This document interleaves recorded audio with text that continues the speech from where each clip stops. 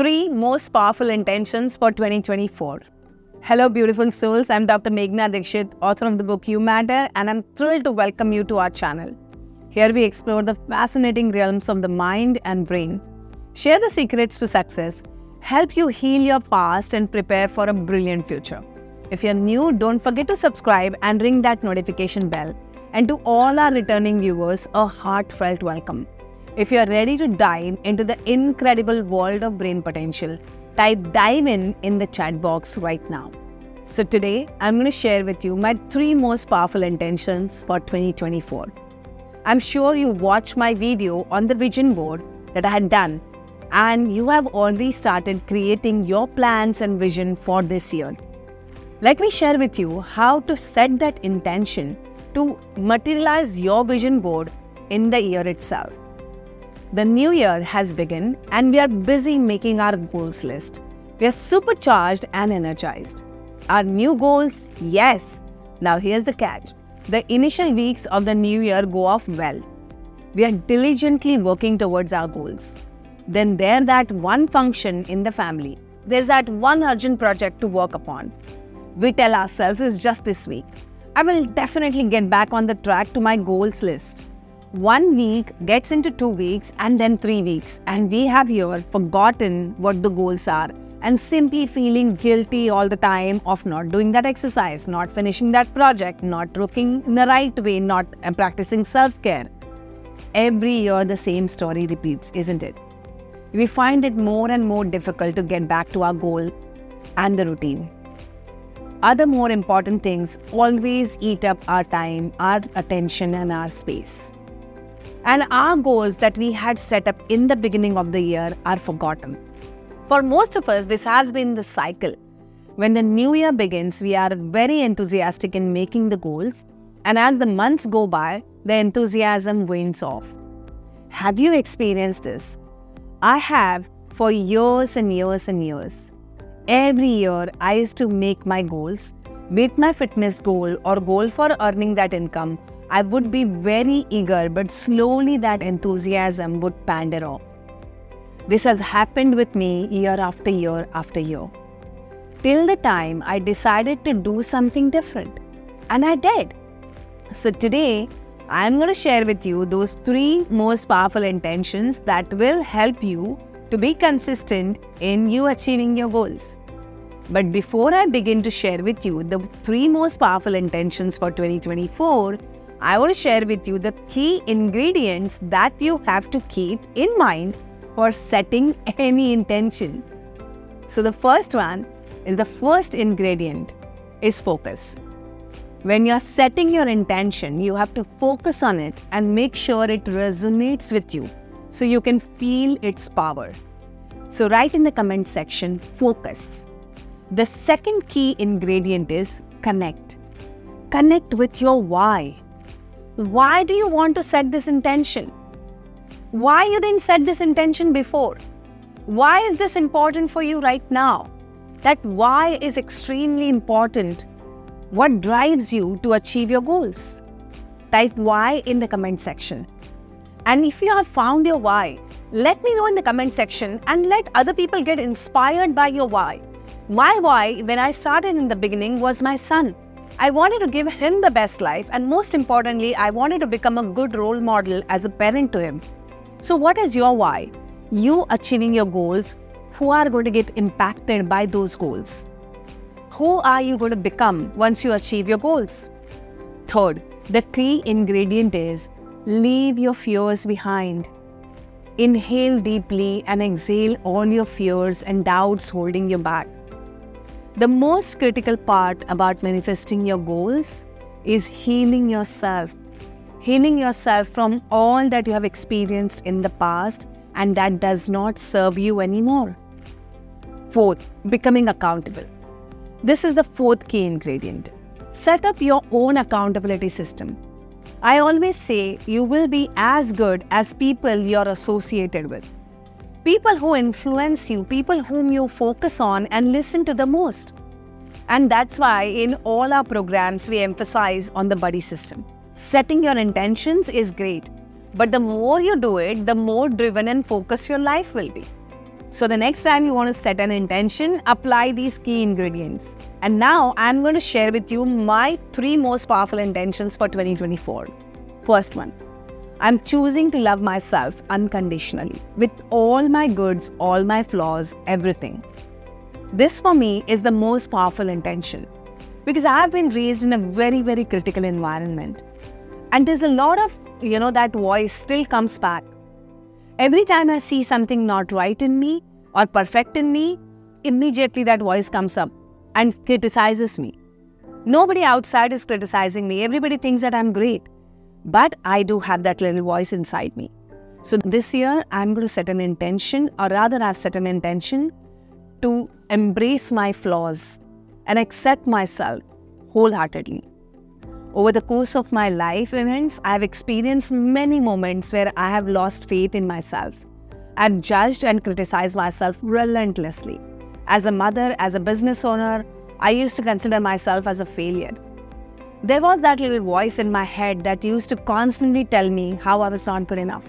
And this had a spiral effect. The more that little voice would be judging me, the more I would be feeling disappointed with myself. Till the time I saw the adverse effect it was having not only on me but also my child. That was the day that I decided to take charge. I put myself through rigorous training, learning and understanding how our brain functions and doing what needs to be done. I have understood the importance of loving myself unconditionally. What does this mean? Let me explain. Say one of your New Year's goal is to lose that excess weight. Now you are all set. You have enrolled yourself into a fitness class. You've gone to the nutritionist and got that diet plan. You're following this diligently. Now the month end is your bestie's birthday. You have to go. And you eat at the party. You have fun. You have enjoyed. The next day, that voice in your head says, See, I told you, you can never do anything right. I knew it. In this case, practicing self love means you telling yourself, Yes, I did binge and I partied, but I did enjoy and I celebrated.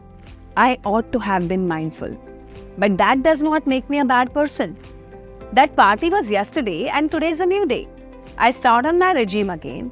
And one of the main reasons why we falter from our goal path is a little setbacks makes us feel we are bad and good for nothing. It's that voice in the head, the action you took. Parting relentlessly was not a correct action. So you have to only condemn the action and not yourself.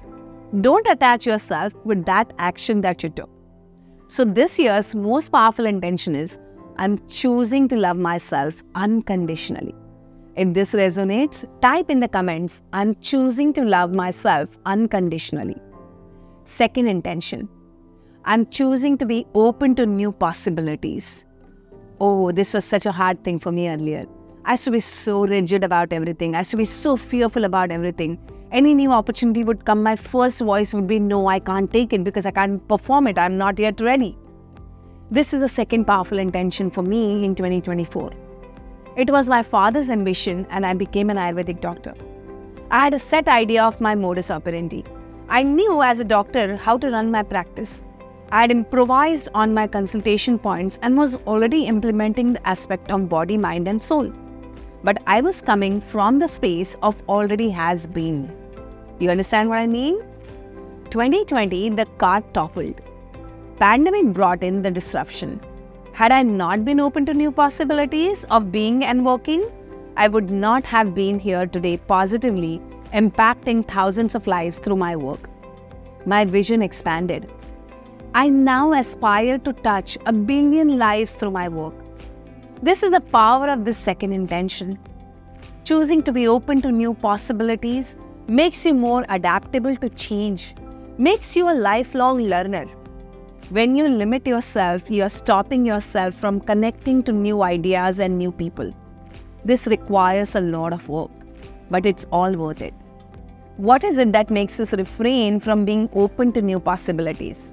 It is our past experiences.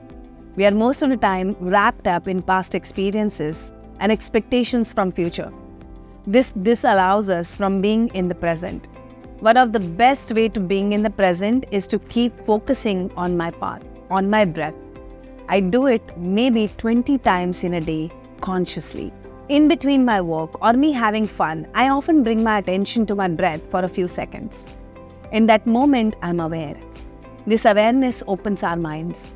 So, being more and more aware leads us to being open to new possibilities.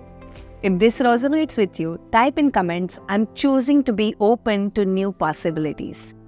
My third intention I'm choosing to take action in spite of fear. My mentor would always say this fear is natural and courage is optional. I experienced this during the pandemic. As I had mentioned earlier, 2020, my offline business got disrupted. I'd never done an online workshop before. It was a new experience. Of course, I was fearful. I had too many what ifs. What if I am unable to speak? What if I don't look good? What if I don't get a single audience? What if nobody likes what I want to see? Here is what I did I acknowledged the fear and continued to take action. The whole of 2020, I continued to practice conducting online workshops. Initially, I failed, but I continued to take the daily action in spite of fear. And as they say, rest is history. Fear comes from our reptilian brain. Our reptilian brain was formed millions of years back, and those many years ago, man was at the bottom of the food chain. He most feared that he would be eaten up by the tiger and he would not get the next food. This fear is primal. It is attached to our survival instinct. Every change that we experience takes us back to this fear. This fear gets triggered. Our goals are a change from the normal that we are used to, and hence the fear. Key is to take that small action daily in spite of the fear. And also knowing that not every time, every action is going to be successful. That is a fact.